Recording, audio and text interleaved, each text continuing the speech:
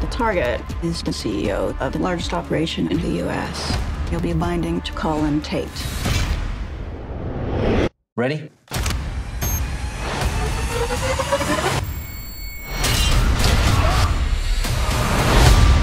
I need to know. I need to know what she's done to me. Sometimes that small thought is all it takes.